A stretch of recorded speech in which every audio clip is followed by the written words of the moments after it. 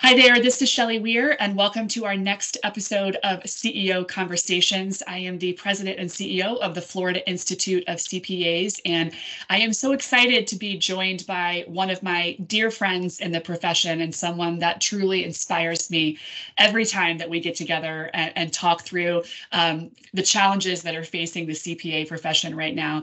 I'm thrilled to introduce Ricky Laviña, who is the co founder and CEO of Taxfyle. Uh, uh, Taxfyle is based here in Florida. There's certainly a national organization. We're going to talk through a little bit today what Taxfyle is and what they do and how they can help you, employers, in the short term, as in today, um, with some of your talent challenges and some of the solutions that they have architected over the recent years. So, Ricky, thank you for joining me today. Thanks for having me, Shelly. Hopefully, we talk about things other than just the challenges, you know? yes, exactly. Solutions, right? Everybody yeah, wants to point out what's wrong, and nobody wants to talk about solutions. Definitely, there's there's there's positive stuff in there too. exactly, exactly. So I think Ricky, when did we first meet? I think it's been what, maybe two years now, something like that. I came down to Miami and met with you and the team. And I feel like we just hit it off right away. I was just so inspired um, by what you guys have built and created at Taxfyle there. It's been probably about two years, right? Maybe a little longer. Uh, at least two years, probably a little longer. We are in our, our, our, we're still in Coconut Grove, but we were in the other office in Coconut Grove. So we've been in, in where I'm sitting right now for about a year and a half. Um, and you came down with a team, and it was it was a blast. You got to see the startup uh, kind of culture, and yeah, you know that's uh that's a rarity, and I guess in, in our profession, right? It really is. It really is. Well, I'm super excited to, to have this conversation today. So let's dig in first and just tell our listeners a little bit about your background um, in the profession and kind of what led you to create this company first. Sure. So um, obviously, I'm a CPA, and um, I graduated from the University of Miami in 2009. Um, it's always bad when you have to pause to just like what year are we in? Um, so definitely wasn't yesterday, um, but but not too long ago. And uh, I started my work at Verdeja, a local CPA firm. Um, while I was at UM, I was helping my cousin, who was ex House Cooper, start his firm. Right, so you know, I knew that I was going to graduate with, um, you know, let's say a concentration in accounting, and I would like to pursue my master's and you know and, and the licensure after that um, the experience there uh, on the audit side kind of opened the door for me to uh, work at a big four i ended up joining uh, pwc and then i was there for about five years um, my main client was Ryder, uh, which is a logistics company down here in South Florida. You're smiling. Mm-hmm. I love Ryder. That's, a, that's a, it's it's one of the great companies down here. Uh. I, I, think in, in South Florida. So I was really blessed to to be you know uh, working there, cutting my teeth, long hours, as everyone knows. Um, but it was you know through that process and the big firm obviously you know uh, at pwc you know they're doing a lot more things than just you know local audits or, or you know uh, taxes right there, there's you know once at pwc you kind of get exposed to like the broader world okay mm-hmm. the business world and um, you know a, a, lot to do with you know where the profession's going and and and how things um, are shaping up for for the rest of the industry so um, that really inspired me uh, to you know take a let's say a deeper look in terms of hey what what problems you mentioned problems right so so what mm-hmm. problems all every startup starts because you're trying to solve an, a current existing problem that no one else is solving right if not right, you don't really exactly. have much viability right so yeah. um and you know every industry has you know um has has issues right so if you could find solutions to those issues identify them correctly you may have you may be onto something and mm-hmm. um you know particularly what inspired me was was the the fact that that we were CPAs, um, we were working working really long hours, right? Um, but maybe didn't have the flexibility to, let's say, like similar to an Uber driver at mm-hmm. the time. Uh, Uber was fairly new in Miami back then. Um, to say, hey, look, I wish I could just make an extra 10k, 15k. I'm really happy with my W two. I'm really happy with my healthcare. I'm really happy with the people I work with. I love the challenging projects I'm working on. But you know, like everyone else, if I just had a little more, right? Mm-hmm. And um, so I I, I looked, uh, you know, around the internet, um, some marketplaces like Fiverr, um, where you could kind of go in and offer your services. But then you you know you really have to treat it as a let's say a full-on business. It wasn't really easy to just say, "Hey, I'm a CPA. I want to lever my license uh, to work on, you know, let's say either things I specialize in or at, get exposure in things I can't get the opportunity to get exposed to right here currently at PwC, but I know I could handle because I passed the exam, you know, let's say in taxes or something like that, right? Right. Um, and there wasn't really any viable solutions, right? So it started off as basically an idea of providing side hustle work to CPAs leveraging their license. Obviously, it's still at the core. That's you know eight years later. That that still is what Taxfyle is right now. You know we have five thousand CPAs and IRS enrolled agents mm-hmm. on our platform um, that you know do taxes, but but but other things beyond taxes. You know bookkeeping, quarterly estimates, mm-hmm. consultations, mm-hmm. uh, cleanup work. Uh, so um, but the inceptioning idea was was simply that like how can i further empower the licensure all right uh, beyond currently what it is and in its current state and and the way that that we handled that and and and are handling that problem and attacking it right now is by creating a platform that allows you to easily log in you know without you know say a a robust storefront that you have to build and invest capital and take risk into, right? So minimizing that that upfront risk, you could dip your toe and you know, like I said, any of these different types of swim lanes, and then you make side money. Mm-hmm. I love it. I love it. So essentially, it's an Uber type platform where you can connect folks that want to um, work on projects with employers that need help working on projects. So it's bringing those two worlds together, like you said, without even needing a brick and mortar storefront. So that's awesome. Yeah, exactly. Yeah, yeah. And now it. it's it, now it's just you know it goes beyond just doing a tax return. You know, you could work mm-hmm. for different firms. You know, we have you know outsourcing is a rage right now, right? So obviously we have yeah. B two B outsourcing. Uh, mm-hmm. where we provide our staffing solution, right? And you know, in, in, parallel to if you're doing offshore or essentially onshore, right? So you could see mm-hmm. how that kind of matches up for your firm and if it's the right fit. Yeah, absolutely. Well, I mean, in simple terms, you kind of created this this gig network of CPAs. So maybe um, I know it's probably a long explanation, but maybe in, in short explanation, how does the platform work and, and how can you be that bridge? So how does a firm that wants to connect with a CPA connect with a CPA that's ready to do work for them and vice versa? How does it work?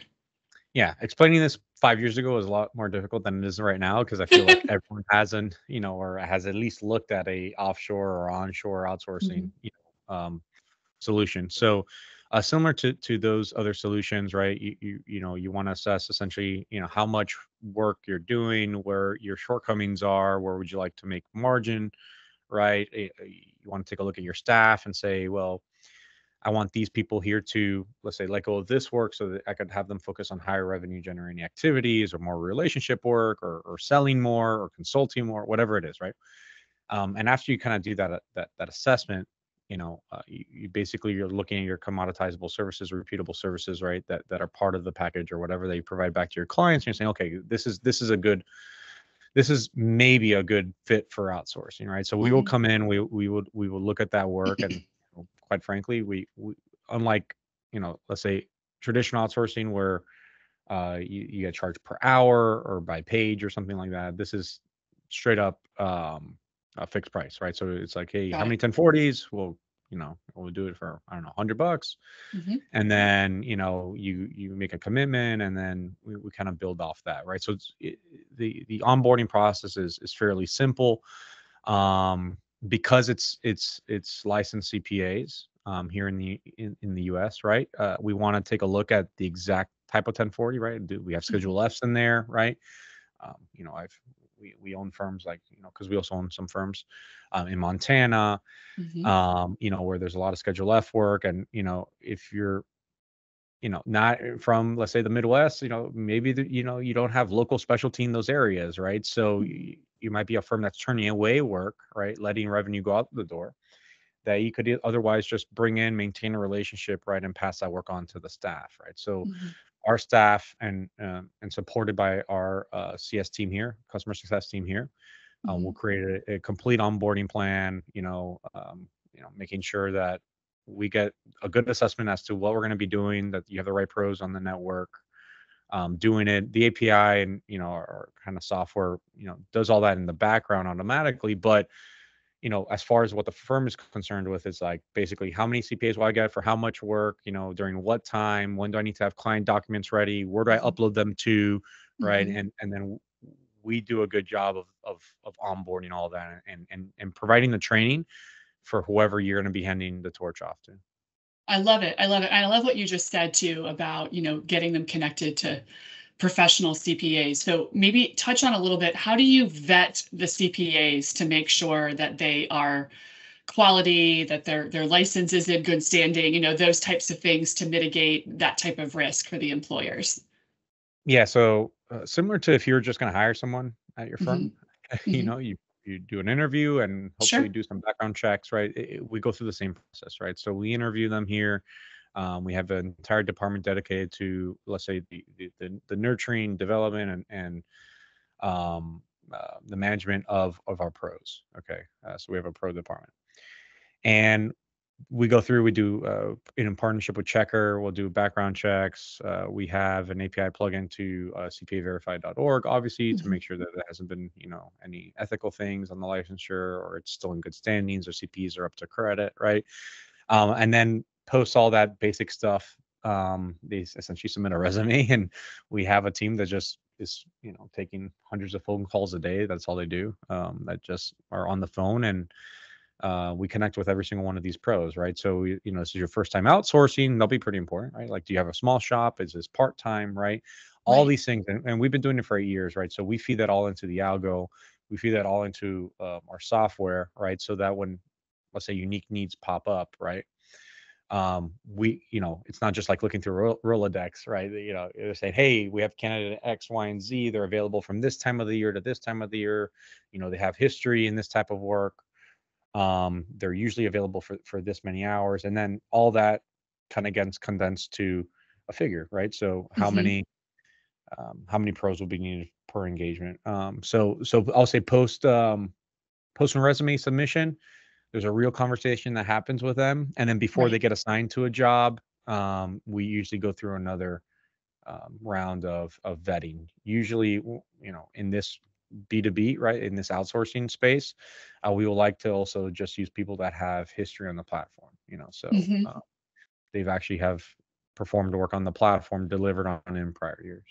Got it. Got it. Got it. Well, and I know that you've talked a little bit about different API feeds and what have you. So maybe for our folks that aren't as technology savvy, you and I have talked over the years about the actual software and how it can integrate in um, with firms so that they're not having to, to go to separate places to, to download and import and what have you. Can you talk a little bit about that for those that are trying to figure out, like, oh gosh, it's just going to be a whole other thing that I have to manage if I Yeah. use it, you know? No, actually, and that was a blocker to to getting deals done years ago, right? Because a, a Mhm. managing partner just kind of wants to get the work, and you know, well, I, I see it's a good idea, but this person here will to train them, and that person doesn't really want to get trained right now.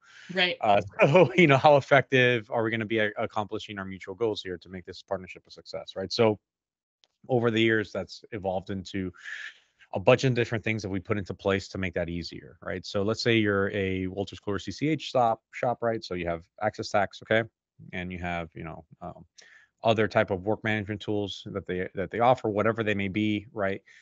um, we have everything from virtual machines uh, that, that we spin up on our side so therefore you don't need to bring in your it people that are already Mhm. compatible with those softwares right Mhm. they'll be brought into the workspace that are synced with them right so that your team because as much as possible i mean there obviously needs to be some level of minimal buy-in right if Sure, not nothing absolutely. over but you know we're not we're not here managing multiple screens like i have right here on my desk at my office because i'm a tech Yep. company. Uh, but you know your your your employees are simply simply working through you know one portal um, a defined let's say folder right to upload client docs right? And and whatever process you know our customer success team once handoff you know happens determines um, to be the best fit it'll be around that right like how are you working right now um, right because not everyone is on cch right so you know uh, you know thomson reuters products right uh, we may you know we have our own kind of processes here we analyze and and then we'll we'll we'll do it we do the best we can to fit into those existing processes That's awesome. Yeah, just make it as seamless and easy as possible. Really, I mean, that's that's the bottom line, right? Which I know requires a lot of work on the back end for you guys, Yeah, but on the front end. So, you know, you've been in the profession both as, you know, an employee at firms and Big Four and what have you, and then obviously developing the platform, uh, the platform, sorry, with Taxfyle and everything right now is around, uh, you know, pipeline challenges and pipeline shortages, and and obviously, your platform is is a, is a major opportunity for a solution for employers that need help today. But there's a lot of stuff going on that could impact things long term too. And it's really a, a, transformative time for the profession. Again whether you're in public accounting or corporate finance every every change is happening everywhere at a rapid pace. I'm super curious because you're just one of those people in the profession that i respect your um, expertise and your your forward thinking vision so much. What do you think um, it, you know broadly what does the future of accounting look like in the next five, 10 years or or 20 years? what I want it to look what like, do you think, I, right? What, do you think's going to happen? Give me your crystal ball. I, oh my gosh! But but what do I what do I want it to look like, or what I think is going to happen? Both. Let's do both. well, yeah. Look, I, am obviously extremely biased because I'm a CPA, right? And right. Uh, there's nothing more I mm. want um, than than for the profession to to flourish and to grow um, like we were discussing before we got on similar to like how like the nurse kind of sector had a resurgency 10 15 years ago um, there's nothing more i want for our pipeline than than for that to happen right? But in order for that to happen you know you know kids in college right um, need to see that this is a viable career path that's not going to go extinct you know or completely 100% offshore in in five years. So um you know there's a lot of uh you know let's say forces at play right that that that that determine that. Ideally um what you would like is you know when you look at just let's take a simple tax return deliverable. You have someone that came in to your you know to your doorstep um, as a lead that then converted to a client because they trust you. They trust the brand on your name uh, you know well, well your brand is your name right sure uh, on your firm and and they trust you with their most personal information you know as it relates to to financial um, type of info. So uh, they come to you year in year out right? Uh, you're basically you know their trusted party um, in terms of not just taxes but in terms of how they're going to be managing their household and um, how they kind of take it from there right? Um, now what does that mean? I, I think I think that means is that you have two substantial elements to a any client, right? To to any book of business, to any any revenue stream, and that is a relationship kind of uh, focused um, um, um, hours and work that that go into maintaining, retaining, and growing a book of business, right, and building trust with your clients. Um, that's equally, if not as important, as to how we get the work done. Mm-hmm. I think that there's been so much work on how do we get the work done, right? That this we've kind of taken our uh, our eye off the ball over here. Mm-hmm. Okay, and I see at the firms that you know we that we own. I've seen it, you know, obviously before I started, you know, uh, Taxfyle, and in our early days when we were only, you know, doing you know small app returns.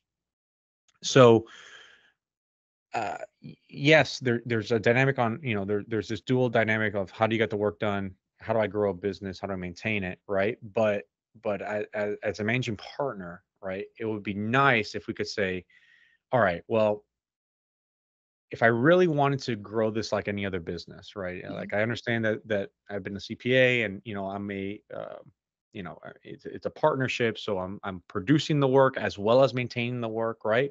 It would be really nice is is is if as we go into the future, there's more specialty within the firm, right? Mm-hmm. There's more specialty. And through that specialty, right? Um, that some of the larger firms have for sure, right? But the majority of the firms in the US aren't large firms, right? They're small firms, right? But through that specialty, leveraging, you know, current technologies, right? We could we could pitch more value, right? More value prop to our younger pros, right? Uh, to our younger students, right? They're considering the profession, right?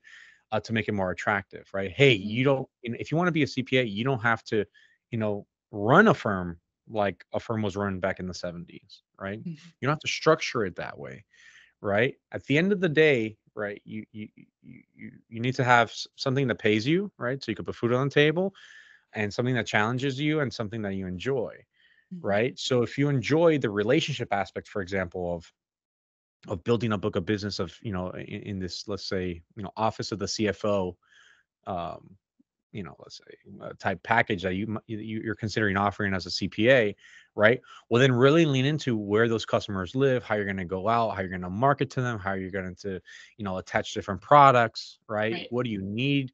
Right to service those products, right? As opposed to just saying, you know, you know, Laviña CPA, I'm going to put it up. I'm going to rent a, a spot out here in, in downtown Coral Gables, and then I'll see what lands on my doorstep Right. right because because when when we take that approach right and we bring that into the classroom okay i think that there's an opportunity to to broaden the horizon of of the pipeline okay Mhm. um you now say oh wow uh, there there is opportunity beyond just working you know for for 60k or whatever it is and i don't have to wait 30 years to make partner or whatever right and i could do it differently and i could be my own boss earlier Mhm. right? Uh, and that's really what the younger generation wants. As you know, they want flexibility, they want work-life balance, they like to No be doubt. challenged, right? They work quick, right? And uh, for better for worse, we have to kind of conform to that. Now, another force that's that's driving all this is well, you know, the the you know, let's say the firm's in place, right? You know, they're sending a lot of that work that that would have been used you know to train people you know from the su- su- supply side right to to give them additional exposure while they're within the the, the house of the partnership you know you know offshore and you know and Mhm. or, or to different people that that may be falling outside of the licensure right so you know something has to give something has to give right we we could have a future uh where we have a lot more engaged cpas coming back renewing their licensure right building great businesses providing great value to Mhm. you know to to the general population right? Uh, not just through audits and tax but other work that, that may be coming up right? Uh, Mhm. software consulting who better than than someone that's in crypto right to start learning about blockchain and you know create a boutique firm around that right? But but structuring it let's say in a modern way. Yeah. um there's a ton of there's a ton of tam there you know? There's a ton of tam there there's a massive market right the reason why we exist is because the, the market has been underserved right the the, general Right. population has been underserved you know you know um, so um the solution is more cpas not less cpas Mhm. and and in order to get more cpas well we have to create a clear path as to why this is a great profession you know what can you expect you know how much can you make and where are your opportunities going to come from Yeah, I love that. And I love, um, I've been thinking about that word modernize a lot myself too, especially in the wake of all of these these licensure debates that have been, you know, been having in the profession over the last year or two and what that looks like and what the pathway to licensure looks like. And for me, ultimately it becomes how do we how do we modernize the licensure pathway? But bigger than that, it's how do we modernize the license? So I love what you said about the work itself. It's it's about almost redefining what the work is and how we do it is is that is the roadmap for how we can think about success in the long term for the pipeline and Kelly, it's something that the you know what would you what would you think here like what would you what, what would you say would you say that that in that future state in that modern state that, Mhm. that you know off off the cuff example that i gave where you know let's say we're doing blockchain you know Right. boutique cpa firm consulting right, and uh, financial planning or you know all this great stuff cool stuff right but also doing taxes and audit right um Sure. part of it right um would you say that as a customer, I would want to go to one of those boutique shops that's providing me this this value. Um, if I knew that they were, you know, the rubric for the licensure was was lower and easier to get into, or Mhm. harder, you know, to kind of get into, right? It's like Right. like the the value has to be increased, right? If we're going to Mhm. increase the value for the clients, then then we have to raise the bar on on you know the the provider side as well, on the supply side, right? On yeah on the professional side, right? So the answer isn't, oh, it's pipeline, it's a volume issue, right? We're, we're in just devalue this stuff, right? And then you have, you know, just I don't know, like like you know, cogs in a wheel, right? And you just have, you know, just just just a body, body in, body out, right? I think the answer is is more specialty, Mhm. right? but more value prop, right? Like make it make it more like a, a, a PhD and and less like you know something else. Yeah, yeah. No, it's it's um it's fascinating to think about. And I know a lot of people have a lot of different opinions on what they think is right or wrong in that conversation. But I think what I love most about you and what I've always respected most about you is that you're you're always thinking in the future, right? It's it's how can we get to this end game and and think about it differently than we've ever done before, which is exactly why Taxfyle was created. You saw a need and a gap that existed within the profession and, and went out and solved for it and created a platform that can help to, to bridge that divide. So we're so grateful to count you as a partner at the Institute, and, and I'm grateful to count you as a friend within the profession. So thank you so much. Um, any closing words that you want to hit on before we uh, say goodbye no, today? Any, any moments of inspiration? any moment of inspiration? On a, yeah, on a, on a positive note, I, I think that the desire is there, right? I think if if yeah. you know you go back to to to the kids in school and say, hey, um, you know, yeah, it's hard, you know, to get a CPA license as it should be because of you know the the, the sure. things that we mentioned, but here's what you get at the other end of it. You know this is what the opportunity uh, you know this is where you break in through right? You, are going to break through this glass ceiling right? And and and with this licensure will empower you to to you know do x y and z in this in, in this manner and earn x amount of dollars right? While serving you know uh, the general interest of, of, of the population. And um i think that that's that i think that's the way that we kind of need to you know lean into. Um no I, and then at the end of the day, simply providing a value prop, right, and, and pitching it and take, and, you know, approaching it as a pitch to these kids and saying, hey, this is why you should be a CPA, right? It makes sense. It's worth your time. It's worth the risk. It's worth the sacrifice, right? Mm-hmm. And it's worth the challenge. That's what young people want. They want to be challenged and they want to be rewarded when they, you know, when they meet that challenge, right? And when they rise up to the occasion, right? And there's nothing more inspiring than that. You know, so whatever we could do, you know, on on on the private side, you know, working with you guys there at the FICPA, which you guys have been doing a fantastic job, to be honest. Um, you know, I, I you know, I, I don't travel the state of Florida as much as you do up and down, but I do every now and then, and and you know, everyone is uh, and, you know, and, in the states in a great shape, you know, so so thank you, thank you guys for that. Um, but you know, I think the as we move forward, we need to lean into that more, right? We really need to take a fresh look in terms of, okay, guys, what are we selling here? How can we get this into the hands of our most talented kids in school right and mm-hmm. and make sure that they stick with the with with the licensure? No doubt. What is that value prop? Like you said. Yeah right? Yeah. So, well, Ricky, thank you again for everything. I'm so excited. Hopefully, this won't be the last of these CEO conversations that we film. We can make these a, a regular occurrence as we're thinking about things in the future, but also thinking about how Taxfyle can help our member firms and our corporate finance organizations from across the, the beautiful state of Florida here. And of course, if you are a CPA that is looking to pick up some additional work, maybe you are a newly licensed CPA that's kind of building out your own firm, or you're a recently retired CPA that's looking to do a little bit of work here and there, but maybe not work full time or anything in between, um, certainly reach out to Taxfyle and get connected to their platform. We'll include all the appropriate links um, when we launch this conversation for ease of access to get over to Ricky and his team. And if you are in South Florida and in beautiful Coral Gables, I know a few of our, our most uh, favorite members are down there in the Gables right next door to you, Ricky. Please feel free to stop by and see them in person as well. But I wish you all the very best. Uh, be safe and be well. And thanks again, Ricky. We'll Thank talk you. to you soon. Bye.